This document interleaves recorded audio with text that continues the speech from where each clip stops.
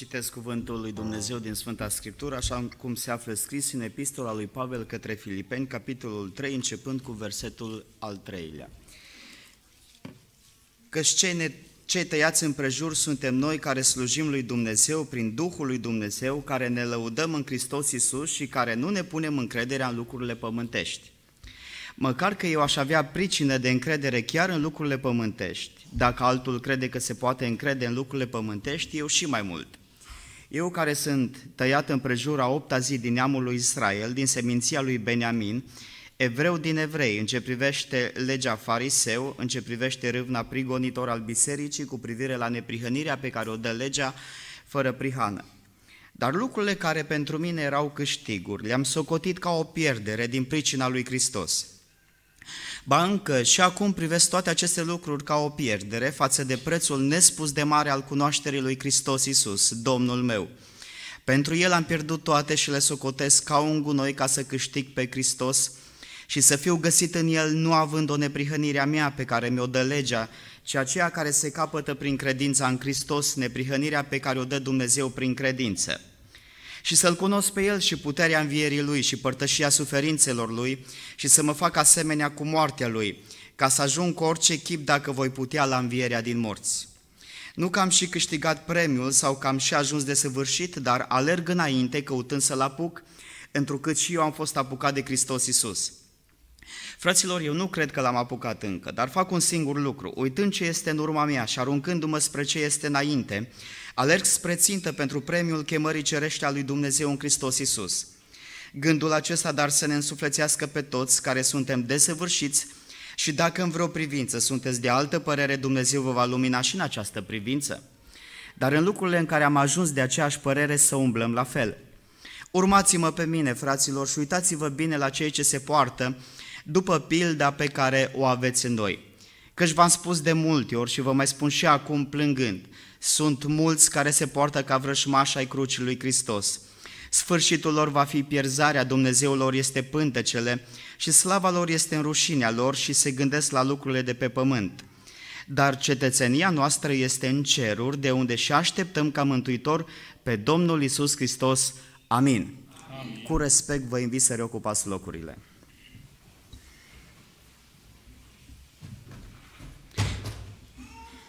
Apostolul Pavel spune de câteva ori și a rămas scris și pentru noi aici în text, versetul 12, alerg înainte. Apoi versetul 13, fac un singur lucru, uitând ce este în urma mea și aruncându-mă spre ce este înainte. Versetul 14, alerg spre țintă. Ca și poporul al lui Dumnezeu, noi suntem chemați să mergem spre Canaanul pregătit, binecuvântat, pe care Domnul l-a pregătit pentru noi.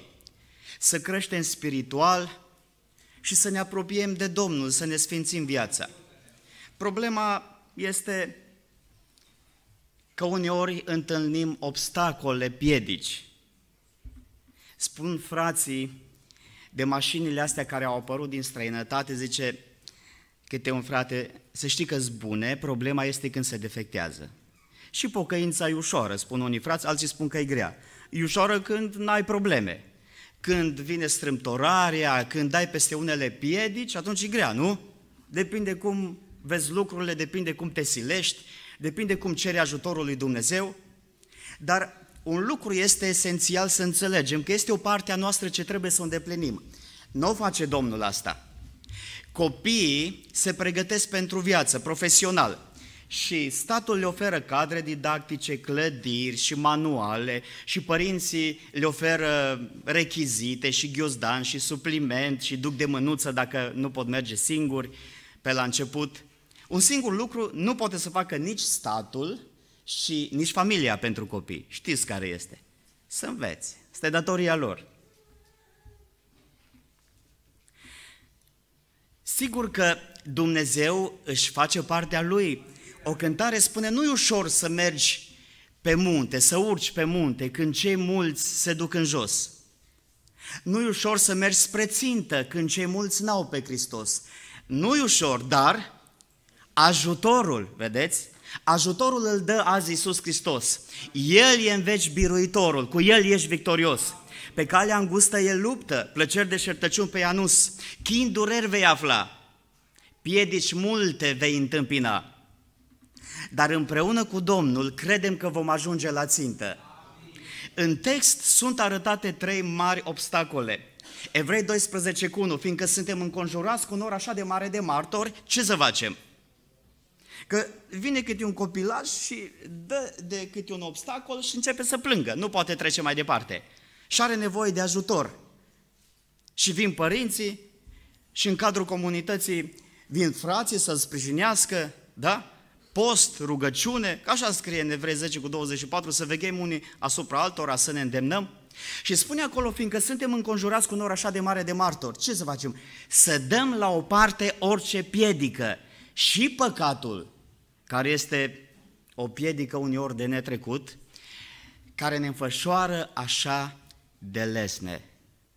Frați, iubiți, răsună iarăși goarna luptei sfinte, după o încercare amară, glasul lui răsună iarăși, pentru numele său mare, înainte.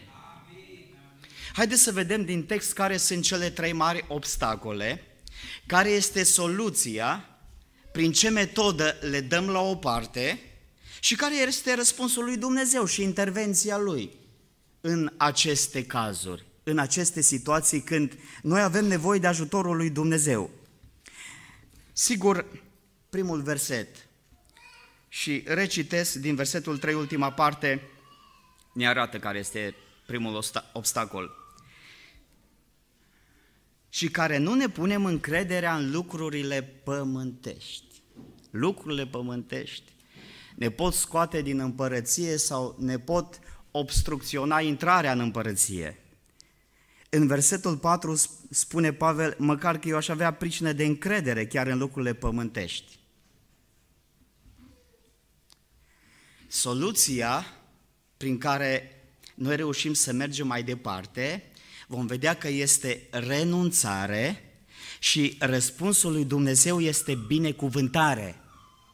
În Genesa 26, când Isaac a resăpat fântânile tatălui său Avram, au venit păstorii din Gerar și au zis, astea sunt ale noastre. Și ce a zis Isaac? Mergem până la Haga, dacă e vorba. A spus, nu, dacă sunt ale voastre, sunt ale voastre. Și s-a repetat istoria. Și Isaac a mers mai departe. Și spune Biblia că Dumnezeu i-a dat un rehobot lărgire și au venit și oamenii din Gerar și Abimelec și au zis, măi, vedem că într-adevăr Dumnezeu este cu tine. Lucrurile pământești ne determină uneori să ne fălim cu ele. Știți cazul lui Ezechia? Și uneori Dumnezeu se retrage să cunoască tot ce este în inima noastră, să vadă ne stăpânesc lucrurile pământești? Ne-am pus încrederea în ele, ne fălim cu ele? 2 Cronici 32 cu 31 Însă când au trimis căpeteniile Babilonului Sol la el să întrebe de minunea care avusese loc în țară, Dumnezeu l-a părăsit ca să-l încerce, pentru ca să cunoască tot ce era în inima lui. Frații spun așa că Dumnezeu a zis să stăpânim pământul, numai că pământul ne stăpânește pe noi uneori. Și lucrurile de pe pământ. Am întâlnit persoane care spun așa, Frate zice, am făcut hotărâre astăzi, dacă mă ajută Domnul să sap rândurile astea de cartofi până acolo, din seară mă duc la adunare, la rugăciune. Este un frate când dă îndemn la rugăciune la noi, tot amintește, Psalmul 84, versetul 10, mai mult face o zi în curțile casei Domnului decât o mie în altă parte. Și zilele trecute îmi spunea un frate, zice, măi frate, dar nu știu, ce tot repetă fratele versetul ăsta? Zic, pentru că nu-l înțelegem. Cum să nu înțelegem, frate, că e pe românește? Când o să vadă Dumnezeu că l-am înțeles, nu o să ni-l mai repete. Că ori nu l-am înțeles, ori nu-l credem, pentru că lucrurile pământești pot fi o necesitate pentru noi sau o prioritate. Când sunt o necesitate, lucrurile acestea pământești sunt o prioritate. Dar când, și sigur, sunt importante, dar când ele ajung o prioritate, atunci devin cele mai importante. mai întâi rezolv ce am de rezolvat și dacă mai rămâne timp, mă duc și la adunare. Când sunt o necesitate, te îngrijești pentru ele. Când sunt o prioritate, te îngrijorezi pentru ele. Când sunt o necesitate, ești clar că Domnul a spus că trebuie să muncim. Când sunt o prioritate, devii duplicitar. A fost un păstor la noi, un prieten al meu și a spus, fraților, mi-am propus să vă predic de lenevie astăzi. Ce, v-a predicat cineva de lenevie și frații au zis, frate, nu ne-au predicat, nu au zis biserica. Sunt toți, frate Corneliu, ce, n-ați predicat la frați de lenevie niciodată. Și am zis, nu frate, că frații noștri sunt atât de harnici, că pentru lucru și pentru problemele pământești și firești, lasă și programul de adunare, lasă și stăruința, lasă tot. Și n-am predicat de lenevie. Am uh, observat un lucru și dumneavoastră, unii care ați călătorit în partea Germaniei, în autohaus, unde sunt uh, arabii care vând mașini, când este târgul mai bun la miaz, când e piața de desfacere mai bună, la ora 12 lasă tot, închid și pleacă la rugăciune. Ca o rugăciune de la 12 jumate la 1 jumate, nu mai găsești pe niciunul. Și în timp ce vrea cineva să cumpere o mașină, l-a lăsat cu bani și cu afacere și cu tot ce-a dorit și a plecat și a spus ne întâlnim peste o oră jumate. Lucrurile pământești ne determină să fim duplicitari, să încercăm să împăcăm și ce este a lui Dumnezeu și cu ce aparține lumii. Dumnezeu a spus că lucrurile acestea sunt trecătoare, să nu punem preț pe ele. Domnul vorbea printr-un vas de lucru bisericii noastre, am de gând, o zis Domnul, în mesajul transmis, să vă vorbesc prin familie. Și noi am crezut că o să vină așa, câte un vas de lucru prin familie să ne vorbească. Nu așa a fost. Prima familie prin care Dumnezeu ne-a vorbit, ca să înțelegem că lucrurile de pe pământ sunt trecătoare, să nu ne încredem în ele, să nu ne fălim cu ele, să renunțăm atunci când trebuie să renunțăm pentru pace, că Dumnezeu ne va binecuvânta, sau când trebuie să renunțăm pentru slujbă, pentru lucrare. Și într-o zi, o familie de la noi, soț și soție, au plecat în străinătate, la 50 de kilometri de casă, de la garajul unui vecin, probleme cu curentul electric acolo, a luat foc garajul fratelui nostru și de la garaj a luat foc mașina, copiii au ieșit afară să împingă mașina, că luase foc, cel mai mare și-a dat seama că este un pericol, s-au retras, mașina a explodat, a luat foc casa și a ars casa. Am ajuns printre primii acolo, aproape deodată cu această familie. Am asistat neputincioși, așteptând pompierii. Și ars garajul, mașina și casa. N-am putut să-mi imaginez că poate să ardă o mașină în așa fel încât să nu se vadă cum a fost mașina acolo. Fierul să se topească așa și să nu mai existe motorul. Și eram pe mașină. În timp ce vorbeam la telefon, m-am uitat și din tot ce a fost acolo, din casă, din garaj și din mașină, era un obiect, așa se vedea, ca un plastic ars. M-am plecat, am desfăcut plasticul, era torpedou din partea dreaptă a bordului și atât a rămas din tot ce a avut. Era Biblia, intactă, puțin copertele arse să se vadă că a ajuns focul la coperte și altceva n-a mai rămas. Dumnezeu ne-a vorbit prin acea familie că nu trebuie să punem pres pe lucrurile acestea, că sunt trecătoare, că se duc, că ceea ce rămâne este cuvântul lui Dumnezeu, este voia lui Dumnezeu, este împărăția pregătită. Și a spus Domnul, căutați mai întâi împărăția lui Dumnezeu și neprihănirea lui și nu vă îngrijorați gândindu-vă ce veți bea, ce veți mânca, cu ce vă veți îmbrăca. Toate aceste lucruri neamurile le caută. Numai că știți ce se întâmplă? Domnul a zis, dacă aveți cu ce să vă îmbrăcați, ce să mâncați, vă este de ajuns. Dar când Dumnezeu spune că e de ajuns, noi spunem că nu e de ajuns. Și când Dumnezeu spune că nu-i de ajuns cât am slujit, noi spune că e de ajuns. Să mai slujească și alții. Să mai meargă alții la bolnavi, să mai dea alții bani pentru biserică, să mai viziteze alții orfanii și văduvele, să mai cânte alții în cor care sunt mai tineri, probabil, sau fiecare cum își face o părere. Dacă nu suntem gata să renunțăm uneori la mofturile noastre, la pretențiile noastre, să renunțăm la dreptul nostru, să renunțăm la proprietatea noastră, poate. Eram într-o biserică, m-am uitat așa în partea surorilor și am spus, soră, ești gata să lași sapa și grebla când e program de adunare și să vii aici la închinare să slujești Domnului? Și o soră zice, nu, frate. Probabil o fi crezut că am întrebat-o în mod personal. Am spus, Domnul să te ierte pentru păcat, da, felicitări pentru sinceritate. Poți să te pocăiești, că nu-i târziu. Predicam odată într-un alt context despre lucrurile pământești într-o biserică, era chiar evangelizare și am spus, frate, ești gata dacă îți cere Domnul, că a spus în 19 cu 27, Matei, a spus uh, Petru către Domnul, Doamne, noi am lăsat totul și te-am urmat. Și răspunsul vine în versetul 27. Spune Domnul, oricine a lăsat, în Matei 19, oricine a lăsat pentru numele meu și lasă case, frați sau surori sau tată sau mamă sau nevastă sau fecior sau holde, va primi însutit și va moșteni viața veșnică. Adică are altfel de priorități. Coloseni 3 cu 1.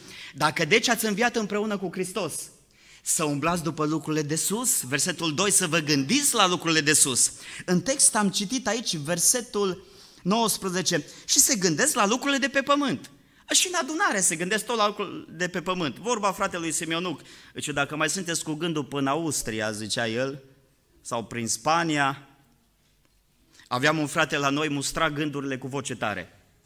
Domnul să te mustre gând care vii, să-mi spui că îi fânul pe jos și vine ploaia. Lasă că-l fac altă dată, dacă nu mă lipsesc de fân, lasă-mă, te rog, să stau liniștit în casa Domnului. Și noi îl ascultam. Dar în loc să luăm lecție, și am spus, frate, ești gata, dacă te cheamă Domnul, în Afganistan, în Kabul, acolo unde e Dumitrița militarul, o tânără care slujește vestind Evanghelia de câțiva ani, să te duci să vinzi Loganul și cu banii ăia să te duci în Kabul să faci evangelizare. Și la sfârșit m-a așteptat afară un frate. Și zis, frate, zice, aici ai cu Loganul meu. Zic, frate, am zis ceva de Logan, dar nu de al dumetale, eu nici nu știu ce mașină ai. Ei, nu zice, doar știi că ai mai fost pe la noi pe la biserică, ne-am întâlnit.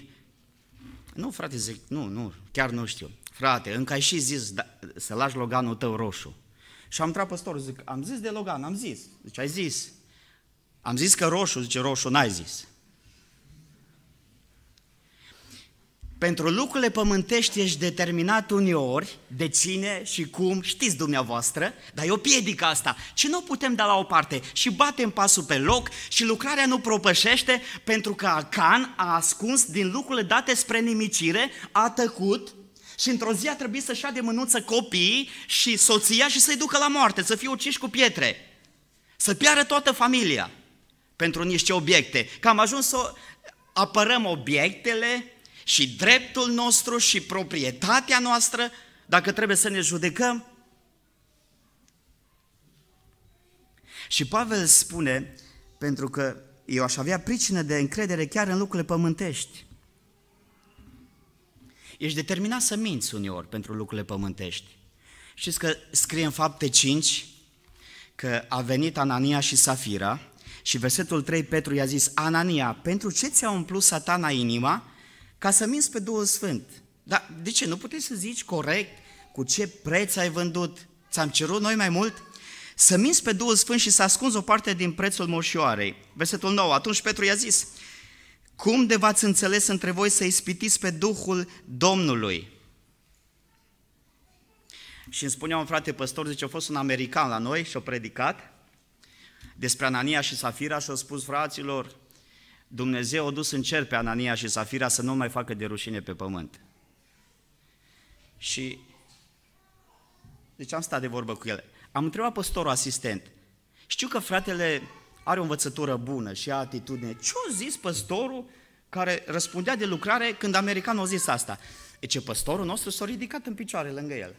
Și a stat în picioare lângă el. Și americanul când a văzut că mai are un coleg, s-a gândit că vrea să spună ceva și s-a așezat pe scaun. Și s-a întrerupt învățătura. Și îmi spuneau frații că la sfârșit, zice, am stat de vorbă cu el că începuse să scrie și o carte despre asta. Și am explicat că Domnul a zis că afară sunt mincinoși. Am întâlnit într-o biserică o tânără, cânta, chemat acolo să cânte și am spus că treia zic, auzi, câți anișori ai? Zice, 19, frate. No, bun, zic, ce te-ai gândit? Ce planuri ai pe viitor? Am întrebat-o între timp dacă e botezată în apă. O zis că nu. Dar te-ai gândit să te botezi în apă? Și deocamdată nu. Dar de cântat, cânta înainte. Și zic, cam ce planuri ai? Frate, zice, prioritar îi să dau după carnet. Am făcut 18 ani, m-am pregătit și vreau să dau după carnet. O dă după carnet. Să vezi ce iasă. Noi am lăsat totul și te-am urmat, a spus apostolul Petru. Ce răsplată vom avea? Soluția pentru lucrurile pământești este renunțare. Răspunsul și intervenția lui Dumnezeu este binecuvântare. Cine renunță pentru pace, repet, Dumnezeu îl binecuvintează. Cine renunță pentru slujire, pentru închinare, pentru o viață curată și sfântă, ca să nu mintă cumva. Știți că pentru o chestiune a lucrurilor pământești, Moise nu a văzut Canaanul și Dumnezeu a zis, auzi, Moise, ieși în fața poporului care e răzvrătit la ora asta și spune-le că le pot da apă să bea. Vorbește stâncii. Moise probabil o uita sau nu ținut cont că Dumnezeu, cum scrie 7 cu 5 Genesa, noi a făcut tot ce poruncise Dumnezeu. Noi trebuie să respectăm în totul voia lui Dumnezeu. Și a spus Domnul Moise să nu mai insiști, că nu intri în Canaan. Nu intri în Canaan, pentru o chestiune a lucrurilor pământești. Tânărul bogat spune Biblia că s-a întristat de tot când i-a zis Domnul, auzi, mai ai un examen ai împlinit poruncile. Să nu ai azi Dumnezeu afară de mine, să nu-ți faci chip ciopli, să nu iei în deșert numele Domnului, să-ți aduci aminte de ziua de sabat, să cinstești pe tatăl tău și pe mama ta, să nu ucizi, să nu prea curvești, să nu furi, să nu minți, să nu poftești. Aia era în regulă. Și Domnul l-a iubit. Dar o să trebuie să-ți arăți dragostea față de cei din jur, pentru că ai o piedică, trebuie înlăturată. Trebuie înlăturată. Mi-amintesc că am vizitat o familie și am văzut că am început ei să lipsească de la biserică, m-am gândit că sunt ceva probleme și sora era în curde, zic, unde e fratele? Zice, fratele e la știri. Unde? Zice că la știri. La ce știri? Se uită la știri. Se uită? Măcar dacă le-ar fi ascultat numai, da? Zice că, frate, hai să spun, am primit un televizor în numele Domnului. Da? De la cine? De la un alt frate care și-a luat color și ăsta al negrului l-a dat lor. Și, păi zice, la soțul meu atât îi plac știrile. Păi da, dar el are slujbă în biserică. Frate, zice, stai de vorbă cu el. Stai de vorbă, eu stau, soră, dar asta e partea voastră. Să renunțați să puneți pentru Dumnezeu un timp la dispoziție, să nu vi ia nimeni, nici sapa, nici telecomanda, nici discuțiile inutile. Că în Eclesiastul 5 cu 6 spune omului Dumnezeu, nu lăsa gura să te bagi în păcat. Și merge, moară așa, fără materie primă, tot discutând de lucrurile pământești, da ceva din cuvânt, mai de treabă, ceva versete, da ceva din lucrările Domnului, da să vorbim între noi cu psalmi, Asta nu prea merge, tot de cât ai făcut și unde mai mergi și cât ai putere. Frate zice, nu știu, vorbește cu el. Și am spus, soră, până să vorbesc cu el, eu vreau să zic ceva, dacă spui că el e rob, dumneata încă nu, vrei să intervină Dumnezeu, noi trebuie să ne facem partea noastră. Domnul a spus Martei, Marto, Marto, pentru multe lucruri te îngrijorezi și te frămânți tu. Lucruri pământești. Că l-a chemat pe Domnul să îi spună Mariei, să o ajute. Și Domnul a zis, Marto, un singur lucru trebuiește. Și când Domnul spune trebuiește, înseamnă că e un imperativ. Marto, Maria și-a luat partea cea bună, care nu îi se va lua.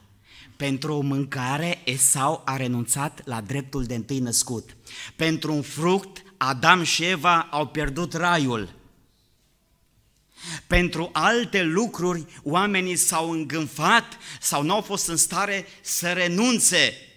Și Dumnezeu nu-și face partea Lui. Nu ne poate duce în împărăție. Și o frate, mai bine să ne rugăm Domnului, zic dreptatea ei, să lăsăm pe Domnul să rezolve El. Mă vezi când intervine Domnul la lucrurile pământești, să lasă uneori cu cârje, cu bandaje, cu seringi, cu un delen, Iacov 5 cu 15 pe acolo. Frate, Domnul să lucreze. M-a sunat la câteva săptămâni, frate, zice, să știi că e bai. Ce s-a întâmplat? L-a trăznit. Pe cine? Televizorul, zice, l-a trăznit în casă. A venit fulgerul lui Dumnezeu pe cablu și l-a trăznit în casă. Zice, fratele, unde era? Pe aproape era și el pe acolo. Păi Dumnezeu poate să dea piedicile la o parte și dacă nu ai timp, Dumnezeu îți face timp. Și dacă nu poți pe verticală să vii înaintea Domnului, te pune pe orizontală să-L vezi mai bine. Și dacă nu vezi lucrările și minunile Lui și binecuvântările Lui și însoțirea Lui și zici că tu le-ai făcut, că tu ai rezolvat, era un vecin al nostru și și pensie de la mină, și făcea dormeze și capitona uși, ba mai lucra și la un alt patron. Trei surse de venit. Și eram acolo când a venit un alt vecin cu credință în Dumnezeu din alt cult și a zis, măi, zice, cum te-o binecuvântat Dumnezeu pe tine să știi să faci atâtea, mă. Ce Dumnezeu, mă zice, eu cu mâinile mele, dar nu s-au dus multe zile cu mâinile lui mai departe și și-o pierdut mințile. Atât. Și-o trebuie să fie îngrijit și-o trebuie să fie coborât în țărâna pământului. Am vrea să ne încredem în Dumnezeu, că cine se încrede în lucrurile pământești, cine se fălește cu ele, cine își pune încrederea în ele, cine nu prețuiește timpul și îl pierde cu lucruri care strecătoare, cuvântul lui Dumnezeu va rămâne. Avram a zis către Lot, Lot, nu-i bine să fie ceartă între noi că suntem frați. Și îmi spunea un frate de la noi, frate, hai numai să vezi ce s-a întâmplat la noi. Cât am fost plecat în concediu, vecinul ăsta meu tot tovarăș de credință, dar nu știu dacă de pe aceeași cale, o mutat gardul, frate. 3 metri. Nu numai că l-au mutat, dar l-au făcut de beton, fundația de beton să nu mai mute nimeni. No, ești pastor, să văd, ești în stare să-l muți. Știi cum a zis un frate? Credința mută munții, dar înțelepciunea e lasă acolo. Frate, zic, nu încerc să, să mut gardul, dar iau pe ei și mut la ortodoxi. Vorba unui frate dintr-o biserică. Eu dat o adeverință la un frate, fratele o salutat și o plecat, s-a întors din curte. Frate, zice, asta e adeverință de retragere din drepturile de membru. Voi m-ați dat afară. Nu, frate, zice, nu te-am dat afară. Ți-am dat o adeverință să vezi unde ești. Poate așa te trezești. Tu ești afară. Că este un frate la noi acolo în zonă, e simpatic așa și cu mult respect și bun simț pocăința e mai slăbuță. Mă salută de la distanță, pace frate păstor, pace. Ce mai faci frate, zic? Frate, numai înainte. Și tot așa, numai înainte și într-o zi mă zic, hai să-l opresc să văd înainte spre ce. Că-l văd rar la biserică, la împărtășire nu, bolnavi și văduvele nu cred că-l cunosc și administratorul, din câte am înțeles, nu l-a trecut pe caiet acolo niciodată, la toate lucrurile administrative. Și am spus, frate, nu te super pe mine, înainte, tot înainte mergi. Și acum, da, înainte spre ce? Proverbe 14 cu 12. Multe căi pot părea bune omului, dar la urmă se văd că duc la moarte. Și Pavel a zis, fraților, versetul 12, alerg înainte. 13, fac un singur lucru, uitând ce este în urma mea. Dar ce era în urma lui? Păi printre alte le lucruri pământești despre care spune în versetul 3 și versetul 4 că putea să-și pună încrederea în ele. Dar știți ce a spus el? Versetul 7, dar lucrurile care pentru mine erau câștiguri, renunțare, le-am socotit ca un gunoi, versetul 7, din pricina lui Hristos, versetul 8. Bancă și acum privesc toate aceste lucruri ca o pierdere față de prețul nespus de mare al cunoașterii lui Hristos Domnul. Adică Știi că la adunare este dezvăluirea tainelor împărăției. Aici ți se face cunoscut cu deamănuntul voia lui Dumnezeu și lași totul pentru asta. Vei să fii prezent la părtășie. Mi-am că am fost chemat într-o familie să fac ungerea cu un la un frate și eu m-am rugat așa, Doamne, să nu mă las să fac acte de cult așa numai de dragul actelor de cult și degeaba, când e voia ta fac și când nu, nu. Când tinerii îți vrednici și curați, ne rugăm pentru ei, când nu, eliberează-mă de slujba asta pe moment ca să nu trebuiască să fac, când trebuie ungere cu un de lemn, da, și m-a rugat pentru Doamne, Doamne, și acasă, dacă trebuie să fac ungerea, să mă luminez, dacă nu trebuie să fac, să mă oprești. Și m-am dus și acolo zic, frate, crezi că Domnul te poate vindeca? Frate, ce păi dacă nu credeam, nu te chemam. Nu, foarte bine asta, dar vreau să te întreb ceva. Știi că Domnul te vindecă, uite acum, ca pe Enea te poate ridica. Dar dacă te vindecă Domnul, ce ți-ai propus? Păi să mă vindeci odată, frate, că atât am de lucru, atât am de lucru că nu mai știu ce să fac. O rămas toate de izbeliște. Nu i-am făcut ungerea cu un Nu i-am făcut ungerea. Și peste câteva luni m-am dus din nou să văd dacă s-a pocăit, că noi l-am ajutat cu rugăciune, cu sfaturi și să pocăise omul. Și ce-a zis? Frate, acum nu te-am chemat să faci ungerea. Te-am chemat să te rogi Domnului pentru mine, să mă ajute să-mi duc crucea până la capăt și te rog, du-te în adunare și spune din partea mea, fraților și surorilor, că eu eu am fost harnic la viața mea și mă știu, frate. Să spună fratele Corneliu fraților să renunțe pentru lucrurile astea, că pe mine dacă m-ar vindeca Domnul aș vine la adunare, nici n-aș mai pleca din adunare. Și spune-le că până plecăm de aici, le plătim pe toate. Ce este mai important pentru noi? Lucrurile pământești sunt o necesitate sau o prioritate? Dacă sunt o necesitate, ne îngrijim de ele. Dacă sunt o prioritate, deja ne îngrijorăm. Dacă sunt o necesitate, suntem clari, ca și Biblia, clar. Dacă sunt o prioritate, suntem duplicitari. Pot fi importante sau pot fi cele mai importante. Dacă sunt importante, nu e nicio problemă, că a zis apostolul Pavel lui Timotei, că dacă cineva nu îngrijește de cei din casa lui, este mai rău decât un necredincios.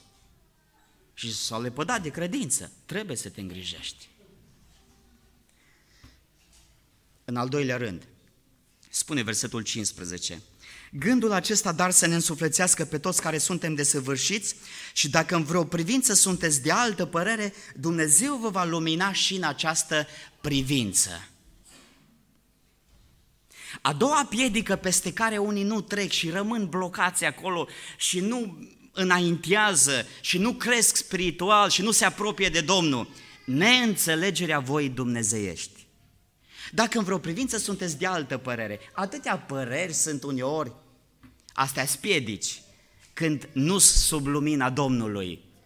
Neînțelegerea voi dumnezeiești este o piedică, soluția pentru asta este cercetare și răspunsul lui Dumnezeu este iluminare. Psalmul 111, versetul 2. Mari sunt lucrările Domnului cercetate de toți cei ce le iubesc. Psalmul 143, versetul 10.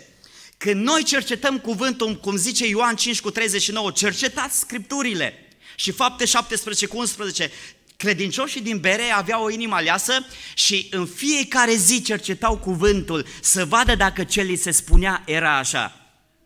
Când noi cercetăm cuvântul, vine Duhul Sfânt al lui Dumnezeu și ne luminează. Soluția pentru atunci când nu înțelegi voia lui Dumnezeu este să cercetezi voia lui Dumnezeu, să cercetezi scripturile și Dumnezeu vine și te luminează. Psalmul 143, versetul 10. Învață-mă să fac voia ta, căci tu ești Dumnezeul meu, Duhul tău cel bun, să mă călăuzească pe calea cea dreaptă. Într-o zi în Statele Unite a ieșit pe stradă un reporter și a început să ia interviuri. S-a oprit lângă un cetățean și a spus, domnule, dacă nu vă supărați de o întrebare, știți care sunt cele două mari probleme ale Americii? Și a zis respectivul, nu știu și nici nu mă interesează. Și a zis reporterul, ai dreptate. Astea sunt cele două mari probleme ale Americii. Oamenii nici nu știu și nici nu interesează. Nu e o problemă dacă nu știi cum se ține ziua de post, cum să te apropii de Domnul înainte de cină, cum să te integrezi într-o lucrare de slujire, care ți este chemarea. Nu e nicio problemă. Poți să fii luminat dacă cercetezi. Așa spune Pavel aici. Și dacă în vreo privință sunteți de altă părere, Dumnezeu vă va lumina și în această privință. Doamne, luminează-ne în toate privințele, să înțelegem voia Ta, ca să știm cum să mergem pe cale. În urmă cu patru ani, Dumnezeu a cercetat biserica noastră printr-un caz mai special și de atunci ne-am adunat la rugăciune în fiecare seară. A fost într-o marți când s-a făcut strigarea, ne-am adunat toată biserica și din seara ce avem rugăciune în fiecare seară. Și așa, din 250 de membri, vin 70, 80 și bine. Dar noi ne mai rugăm să mai trezească Domnul și pe alții, că rugăciunea e pentru ei în primul rând și le este de folos, dar nu toți au înțeles. Dar dacă ar fi sincer, măcar să recunoască faptul că n-au înțeles, ne-am rugat mai mult să-i lumineze Domnul, dar unii se și supără când te rogi pentru ei, ei cred că-s luminați. Și mi-amintesc că într-o seară a venit un frate la rugăciune, m-am bucurat, zic, uite, cred că Domnul m-a iluminat un frate și la sfârșit în curte l-am întrebat, frate, cum ți s-a părut? Nu, e bine, mă, la rugăciune e bine. Dar zice, nu înțeleg un lucru. Ce nu înțelegi? Mă, ce atâta rugăciune? Dar nu știe Domnul de ce avem nevoie? Ce atâta rugăciune? Zic, auzi, Domnul Iisus Hristos era Fiul lui Dumnezeu. Duhul fără măsură. Dumnezeu îl folosea cu semne, minuni, cu învieri din morți, cu propovăduirea Evangheliei cu putere, cu înțelepciune. Dar Isus Hristos avea nevoie de rugăciune și a venit și s-a rugat un ceas. Fără îndemnuri de un sfert de oră și rugăciune de două minute și cântare de cinci strofe, așa, o oră de rugăciune. Și după o oră de rugăciune, au îndemnat ucenicii și au zis, vegheați împreună cu mine și rugați-vă să nu cădeți în ispită. Și s-a mai rugat încă un ceas și unii spun, mă, ce tot vă rugați acolo, că vă tot văd că mergeți la adunare. Spun oameni de afară care nu înțeleg. Și ce s-a rugat Domnul? Aceleași cuvinte scrie. Uitați-vă, Matei 26 cu 44. I-a lăsat din nou s-a depărtat și s-a rugat a treia oră zicând aceleași cuvinte. Apoi a venit la ucenici și le-a zis, dormiți de acum și odihniți-vă.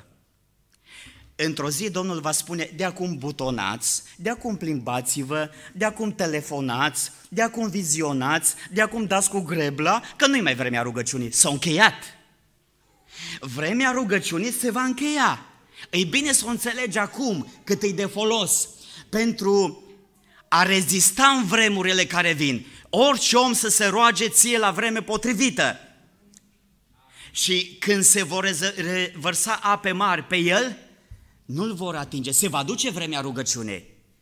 Acum este o vreme prielnică să rugăm pe Dumnezeu să ne lumineze, să înțelegem valoarea, puterii, puterea rugăciunii. Am spus într-o privință, mai sunt și alte privințe în care oamenii n-au ajuns să fie luminați. Într-o biserică, așa am stat cu tinerii la un studiu biblic și mi-au spus tinerii, ce frate, cred că așa nu toate lucrurile sunt clare la noi. Zic, cred că la voi numai. Dar lucrurile sunt foarte clare și care nu le înțelegem direct din Scriptură, ca famenul etiopian, dacă suntem doritori, dacă cerem înaintea lui Dumnezeu, cercetând voia lui Dumnezeu, trimite un om să ne lumineze. Sunt oameni al lui Dumnezeu care au o învățătură sănătoasă, care au statură spirituală bună înaintea lui Dumnezeu. Mi-amintesc că am fost uh, chemat la școală. Unul dintre copiii noștri a încheiat clasa 12 și dirigint a spus, nu-ți motivezi cele două zile în care o mers să dea și el examen pentru carnet și să dea și el după carnet și o zis să vină tatăl tău personal cu cererea de învoire. Și m-am dus personal și am spus, am venit cu cererea de... Nu e problemă cererea, motivăm absențele, pentru altceva v-am chemat. Domnul Coțan, este o problemă. Știți, copilul dumneavoastră nu vrea să vină la banchet. Da, zic, vorbiți cu el. E major. Am vorbit cu el, domnule. Am vorbit. Nu l-am lămurit. Păi ce vă zis? Păi, mi-au zis că nu vă dă voie Biblia. Domnul zic, putem să stăm de vorbă dacă vreți. Mă tot gândeam să stau de vorbă, să nu stau de vorbă, că puteam să închei subiectul ușor. Domnul zice, nu numai că nu vine la banchet, dar ăsta e formator de opinii. Încă 12 împreună cu el nu vor să vină la banchet. Zic, dar cum i-o lămurit? Zice, pe unii religios, pe alții i-o lămurit că nu-i bine să dea bani la alții, care mănâncă și beau profesorii de pe urma lor și uite așa, mai am rămas cu 12. Ce banchetă e asta? Domnule, vreau să vă întreb ceva, dar zice, n-ar fi rău să mergem la doamna directoare, că și doamna directoare vrea să vorbească la un moment dat cu dumneavoastră. Mi-am adus aminte ce spuneau frații și cum se roagă frații la noi la Cimpa. Doamne, deschide ușă de cuvânt la fratele Corneliu când trebuie să vestească. Și zic, mă, Domnul deschide ușă de cuvânt și eu să o închid? Nu-i corect. Da, zic, ar fi bine să mergem la doamna directoare, că e mai ușor să predici la doi odată decât la unul. Și când am mers acolo, era și inspectorul de la Deva, al învățământului, așa că erau trei. Și între timp au mai venit trei profesori. Și zice doamna directoare, domnul Coțan, eu au crezut că m-au donat așa de pe drum și îmi pune o întrebare de mâncuie încât dau eu bani atunci pe loc. Domnul Coțan, vreau să vă întreb un lucru. Ce-a învățat? Nu înțeleg. Ce-a învățat copilul ăsta în 12 ani? Și am scos carnetul de note, eram pregătit. Și zic, uitați, uitați-vă ce-a învățat. Și am deschis carnetul de note. A, zice, da, da, felicitări, deci n-am ce să zic. Pe linia asta i-o luat. N-am ce să zic. Altceva vreau să vă întreb. Ce-a învățat ăsta? Ce-a înțeles ăsta în 12 ani dacă la cel mai important eveniment din viața lui nu vine, la banchet? Și întrebarea asta o așteptam. Zic, doamna dirigent a spus că o sta de vorbă cu el. Da, dar au zis că nu vă lasă Biblia. Domnule, vreau să vă întreb, ce vă învață Biblia de nu vă lasă să faceți nimic? Și atât am așteptat să mă întrebe, ce ne spune Biblia? Câteva versete le-am dat. 1 Petru 4 cu 3, mai întâi. A spus omului Dumnezeu, ajunge în adevăr că în trecut ați făcut voia neamurilor, trăind în desfrânări, în pofte, în beții, în ospețe, în chefuri, în slujiri idolești neîngăduite. Tit 2 cu 11. Harul lui Dumnezeu care aduce mântuire pentru toți oamenii a fost arătat și ne învață să o rupem cu păgânătatea și cu poftele lumești. Și dacă tot m-a lăsat, am mai dat un singur verset. Efeseni 5 cu 10. Cercetați ce este plăcut înaintea Domnului. Asta e soluția când nu înțelegi voia lui Dumnezeu. Să o cercetezi. Cercetați ce este plăcut înaintea Domnului și nu luați parte deloc la lucrările neroditoare ale întunericului. Ba mai degrabă, o sândiți-le. Mi-a zis un singur lucru. Domnul Coțan, auzi, dacă nu vine, nu vine, măcar să dea bani. Și am spus, pentru ce? Acolo cumpărați cumva și alcool? Ei zice, pentru profesori. Și am intrat într-un alt subiect de predică. Să le explic că nu putem să dăm bani pentru alcool. Chiar dacă nu participă.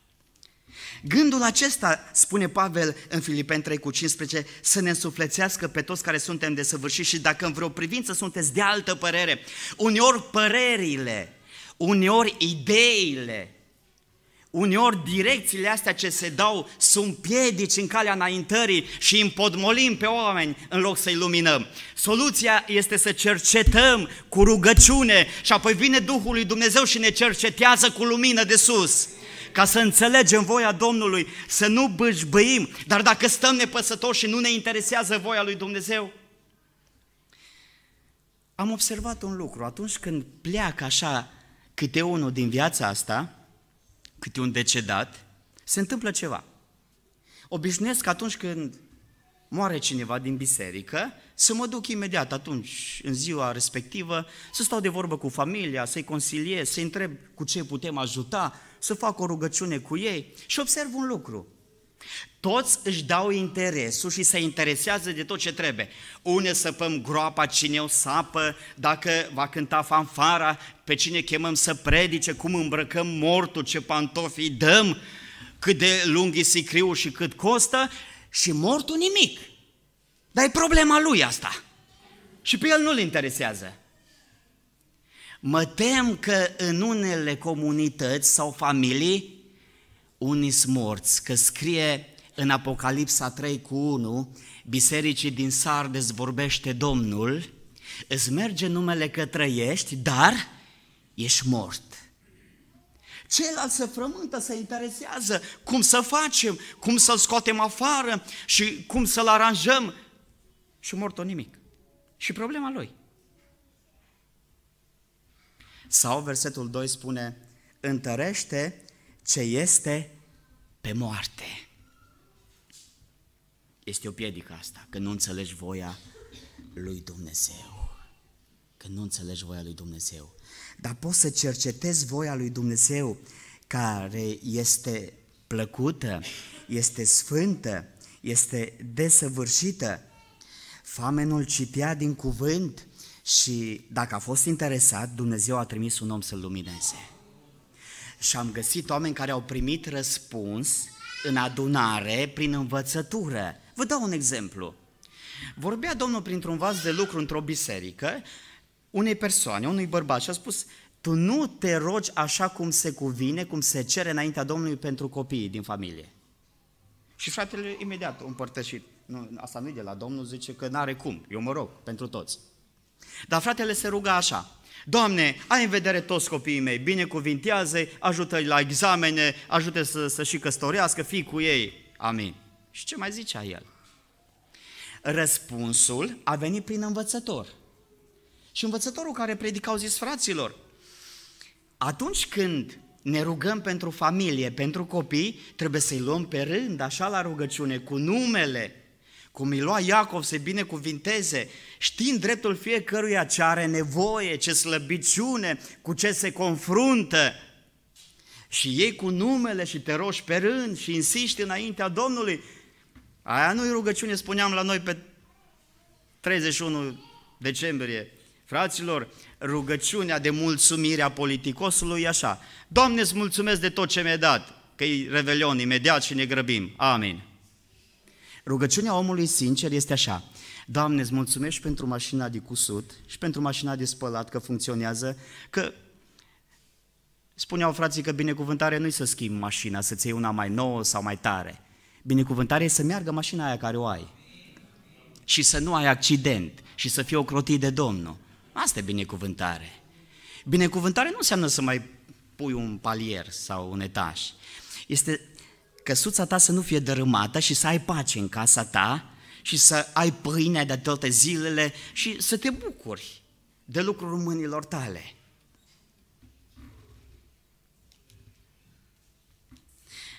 Atunci când nu înțelegem voia lui Dumnezeu, trebuie să cercetăm Scripturile Trebuie să cercetăm voia lui Dumnezeu, să ne interesăm, să ne pese de sufletul nostru, că e scump. Că au zis omul lui Dumnezeu, ce-ar folosi unui om să câștige? Cât? Toată lumea dacă și-ar pierde sufletul. Auzi că e mai important sufletul decât toată lumea asta. Știți de ce? Că toată lumea asta va trece. Va arde, se va duce, că Dumnezeu este capabil să facă un alt pământ și va face este dispus să facă un alt cer și va face. Este dispus să dărâme toate împărățiile și să creeze o împărăție veșnică care este în mijlocul nostru, în inimile noastre și nu mâncare și băutură, este neprihănire și pace și bucurie în Duhul Sfânt. Și noi trebuie să înțelegem asta. Și să ne îndreptăm privirile înspre ceea ce rămâne și sufletul este mai depres decât orice, pentru că sufletul este veșnic și a spus Domnul, nu vă temeți de cei ce pot ucide trupul, ăsta e trecător. Că într-o biserică îmi spuneau tinerii, frate, bătrânii noștri nu prea știu să se exprime, că îi zic la trupul ăsta hoit. Poate să se exprime un pic mai frumos. Mă, frații bătrâni așa au văzut că se duce și trupul ăsta cu frumusețea lui, cu puterea lui și cu toate calitățile și proprietățile. Dar sufletul rămâne, este veșnic și a spus Domnul, temeți-vă de acela care poate să arunce sufletul care e veșnic, ori în ghenă, sau poate sufletul să-l ducă la odihnă în împărăție. Ferici de acum încolo de morții care mor în Domnul, ei se vor odihni de ostenelile lor. Dar dacă nu s-au ostenit, de ce să se odihnească? Dacă nu s-au ostenit cu nimic? Bine, s-au ostenit pentru lucrurile pământești. Dar asta rămâne și nu are răsplată. În al treilea rând, în text găsim încă o piedică. După lucrurile pământești, neînțelegerea voi dumnezeiești și apoi oamenii firești. Sunt o piedică.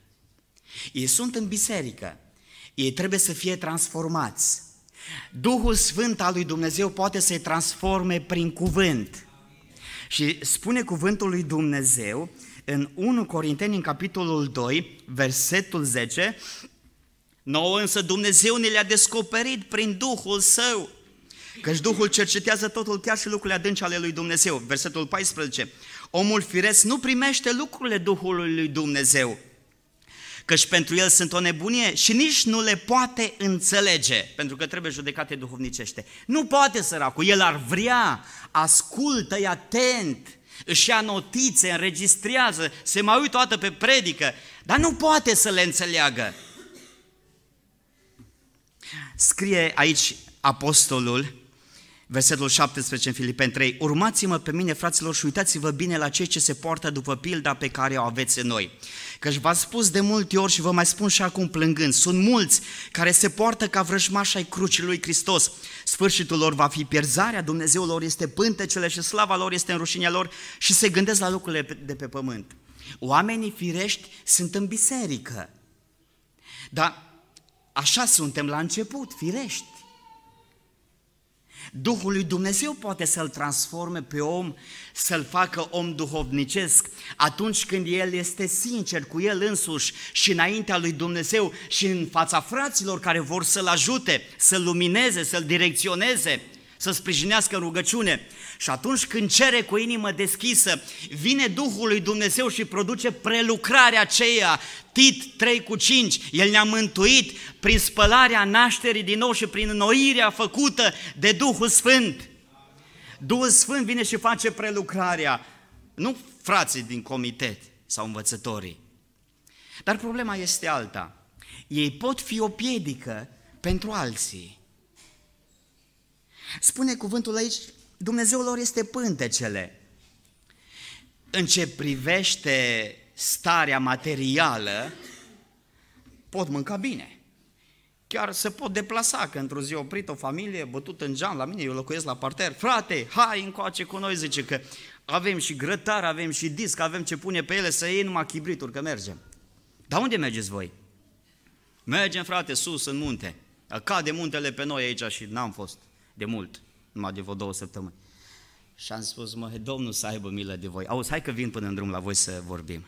Mă, da, azi program de adunare. Lasă că tu totdeauna ești acolo. Să satură frații de tine și lasă că nu mai discutăm noi cu alții. Rămâne între noi. Hai cu noi și nu mai pune întrebări. Îmi venea să le fac acolo în drum un proces verbal, să-i trezesc. Se pun la disciplină dacă puteam. Nu pot singur fără comitet. Am zis, mă, fraților, dar auzi, cum se poate, mă, când îți alții la închinare și strigă pentru cei bolnavi și pentru cei nemântuiți? Lasă că acum nu trebuie să fim noi totdeauna. Spune Dumnezeul lor este pântecele. Asta din punct de vedere firește, dar duhovnicește și ce-o zis Pavel, 1 Corinteni 3 cu 2, va hrăni cu lapte. Nu pot să mănânce, au boala de subnutriție. Nu se pot alimenta, nu pot mânca orice bolnavi. V-am hrănit cu lapte, nu cu bucate tari, că nu le putea suferi și nici acum nu le puteți suferi. Dar care e soluția? Dacă o piedică este aceasta, oamenii fire, soluția este ignorare Intervenția și răspunsul lui Dumnezeu este îndrumare. Și ce-a zis Domnul despre farisei care aveau Torah, pretindeau că au tălmăcirea, dar mai răstălmăceau, cum o zis Petru acolo, că în epistolele lui Pavel sunt unele lucruri grele de înțeles pe care cei neștiutori și nestatornici le răstălmăcesc spre pierzarea lor. Numai că Domnul a făcut o referire și a spus, lăsați lăsați Sunt niște călăuze oarbe și când un orb călăuzește un alt orb, numai în rai n-ajung. Roman 16 cu 17. Vă îndemn, fraților, să vă feriți de cei ce fac dezbinări și tulburare împotriva învățăturii pe care ați primit-o. Depărtați-vă de ei. Dar ce atâta ședință și părtășie și pizza și cafea și vorba unui frate, zice că am fost într-o familie și am crezut că o să ne zidim duhovnicește, dar păi nici nu ne-au acordat importanță. Fratele vorbea la telefon, sora pe afară cu treburi și am zis soții, măi, parcă ne-o chemat la o cafea. Păi zice, ciudat. Băi, cafea am și eu acasă. Păi nu pentru o cafea am venit, că am și eu acasă. Păi de ce la o cafea te-o chemat? Ți-o zis bine la ce te-o chemat. La o cafea, atât. Nici ei măcar nu stau lângă cafea. Dar la o rugăciune nu ne chemăm. Dar să ne îndemnăm la o zi de post. Da să venim înaintea lui Dumnezeu și să strângem puțin rândurile, să punem lucrurile în rânduială și să apărăm adevărul, nu obiectele sau ideile sau părerile. Oamenii firești sunt obiectică, soluția este ignorare, Răspunsul lui Dumnezeu este îndrumare. Dumnezeu te va direcționa spre oameni ai Lui care te pot crește spiritual, te pot sfătui, dar nu te bloca atunci când dai de câte o problemă. Mă întrebau frații într-o biserică recent, așa, într-o discuție de studiu biblic, frate, care crezi că cele mari, mai mari probleme, două, o zis, ale cultului penticostal? Ca să nu vorbim de alții că nu ne prea interesează. Și am zis, cred că prima problemă este că oamenii nu sunt născuți din nou, unii. Ăștia sunt oamenii firești, nu născuți din nou. Poți să le dai învățătură cât vrei. Ei nu vor crește că ei nu există din punct de vedere spiritual. Și asta e prima problemă. Poți să-l tot sfătuiești, să uită la tine, e atent, e cu bun simț poate, dar am citit din Corinteni, capitolul 2, el nu poate înțelege lucrurile duhovnicești. Parcă ai vorbi limba rusă. Nu le poate înțelege. Asta e prima problemă, consider eu. Poate nu o să aveți altă părere. Și o să frate, și care crezi că ar fi a doua? Eu cred că a doua problemă din cultul nostru este influența negativă. Se iau unii după alții, dar la rău. Și nu mă zice că da, și băiatul prezbiterului tot așa și-a făcut freza, dar și fata păstorului când a fost nunta tot așa a avut trena cât trenul. Dar și cu tare, frate, nu i-ai văzut? Că, da, numai cu... Că am pus doi tineri să scrie cine se împărtășește. Și am luat trei luni la rând, cine s-a împărtășit trei luni. Am scos din tabelul de membri și au rămas cei care nu s-au împărtășit trei luni. Și am început să stau de vorbă, zic, mă, da, de îi ajutăm pe unii, nu ca să-i sancționăm, nici măcar să-i avertizăm, ci să le spunem ce zice Biblia, să-i ajutăm să-și uh, repare relațiile și să și le refacă, alea pierdute și stricate, dacă uh, nu pot să dea la pace să-i ajutăm noi, dacă nu sunt conștienți de valoarea împărtășirii. Și mi-am am început cu o familie și zic, n-ați vrea să, puțin la sfârșit să vorbim ceva? Da, frate, cum să nu? Și la sfârșit zic, auzi, nu vă supărați pe mine, dar știi cât, cât de importantă e împărtășirea pentru noi? Da, e clar, frate. Da, da, auzi, noi, noi pierdem împărăția fără împărtășire și o e așa, cu unii o dai pe după cireș, pe după casa scântei, ca să ajungi la subiect, că să supără dacă îl iei dintr-o dată. Și știți că e importantă împărtășirea, că Domnul a zis, în Ioan scrie, cine mănâncă trupul meu și bea sângele meu, are viață în el însuși și va avea parte cu mine și eu îl voi învia. Da, așa e frate. Păi și voi nu vă împărtășiți. Deocamdată nu. Păi, măi, de ce nu vă împărtășiți? Ia să luăm lucrurile mai în serios un pic. Frate, știi ce? ce cu familia noastră? Știu, am auzit eu că ai notat cine se împărtășește și cine nu, să ne iei la rost. Până acum nu au avut nimeni treabă cu noi. Acum de când ești în slujbă, tu te-ai găsit să ne întrebi de ce nu ne împărtășim. Până acum nimeni nu a avut treabă cu noi. Zic, vă lăsați să mergeți așa. Păi frate, știm noi cum mergem și mergem cum mergem. Noi și noi cum putem, că Dumnezeu ne înțelege, că avem slăbiciuni, că avem și noi probleme, dar acum... Păi zic, da mă, dar am notat și vreau să vorbim cu cei... Și cu noi ai început. Păi eu am crezut că o să mă felicitați, să ziceți că e un har că am început cu voi și că mi-am făcut timp pentru voi și că am venit la voi și îți gata să stau cu voi, să facem noapte de veche dacă trebuie. Nu e nicio problemă, că mă duc la alții. Că așa au zis oamenii și către Domnul, auzi, du-te din cetatea noastră, duce în altă parte. Ei se gândesc la lucrurile de pe pământ, spune versetul 19. Soluția este ignorare. Ignorare.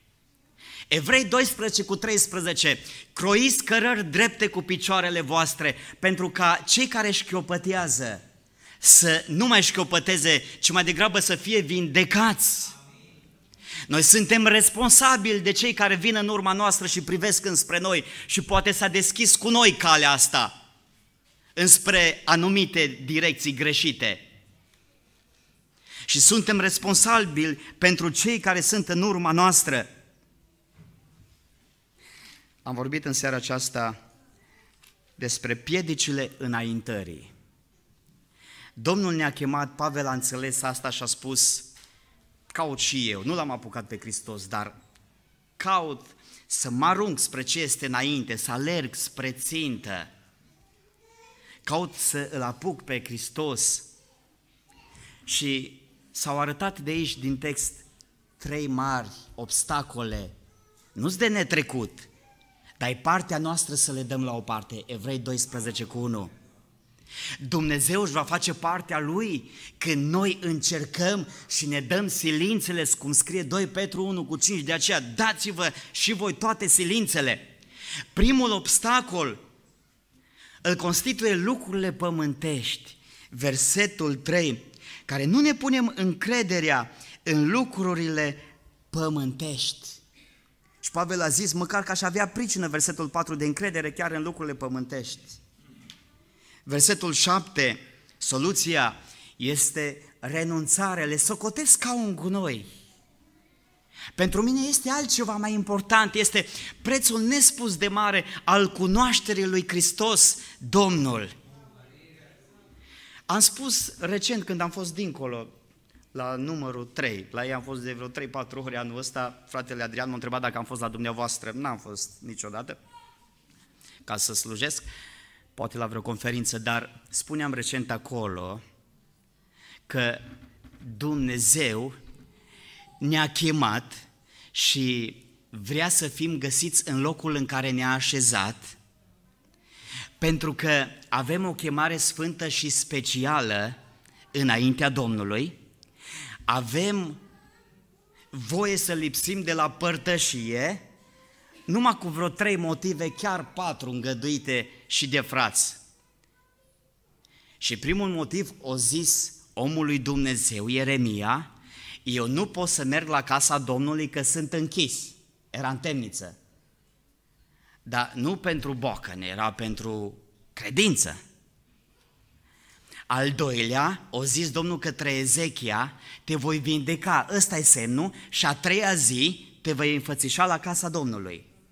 Deci lipsești, numai dacă ești închis pentru Domnul în temniță, dacă ești bolnav, da?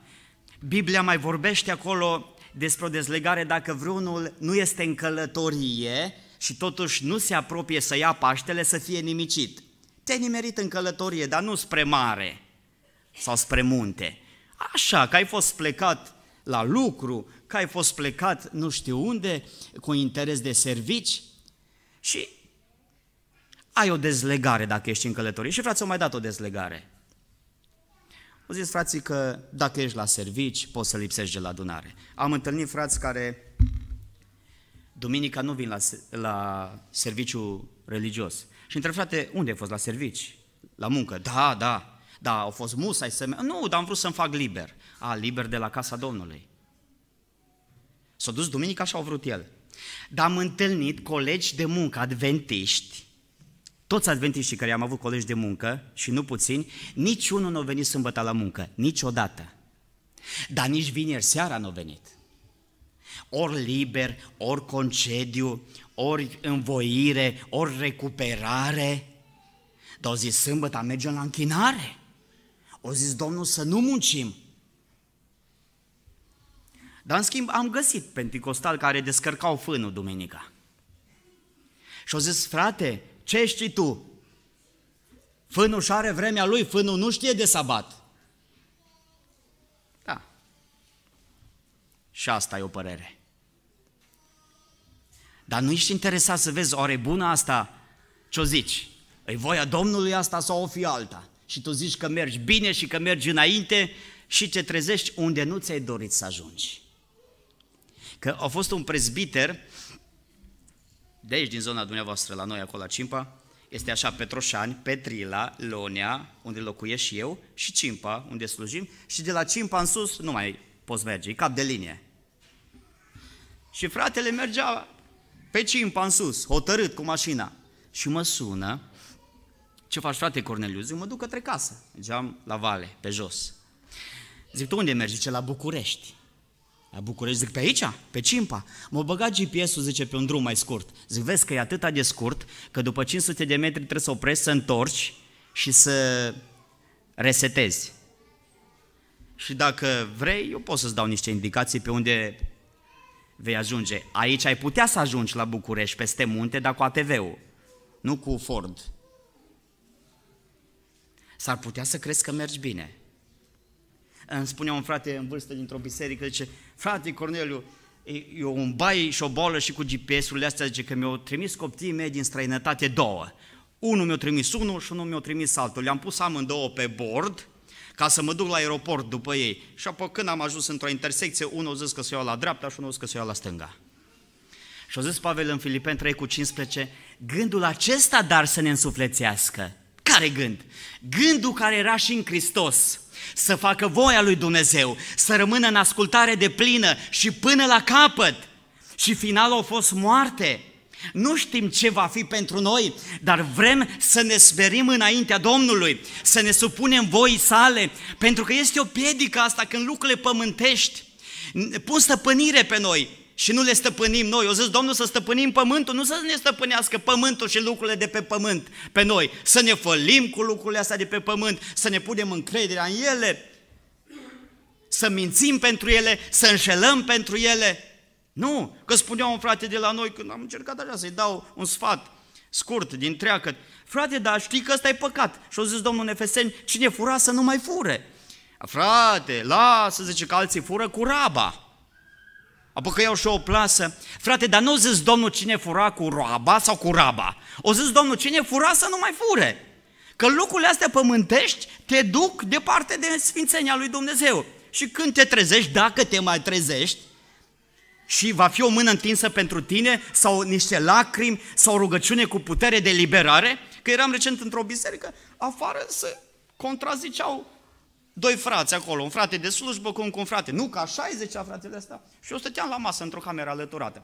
Și m-am ridicat să mă audă și cei de afară.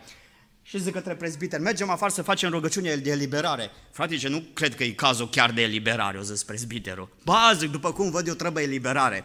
Că omul ăsta e stăpânit. Suntem liberi, slobos sau ne stăpânesc anumite gânduri la care nu putem renunța? Atunci când intervine a doua piedică, neînțelegerea voii lui Dumnezeu. Și unii zice, frate, dar cum adică dacă am 19 ani și nu m-am botezat, să mă duc în iad, ca așa am zis, vezi că i-am zis la cântăreață cu microfonul și cu caietul de cântări și cu carnetul de conducere, te duci în iad dacă nu te botezi. Frate, asta, așa ceva, nu, nu știu, nu vine să cred, dar nu mi-o zis nimeni niciodată. Și am mai zis odată, tot pe românește. Auzi, tu vrei să dai după carne, dar cu carnetul de conducere, cu microfonul și cu negativele, dacă nu te botezi, o zis Domnul, cine crede și se botează va fi mântuit. Vreau să întreb, cine crede și nu se botează, tot mântuit va fi?